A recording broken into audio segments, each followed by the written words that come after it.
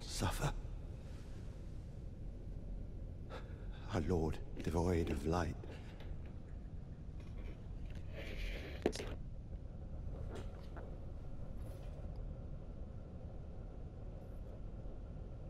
No, Mother. Forgive me.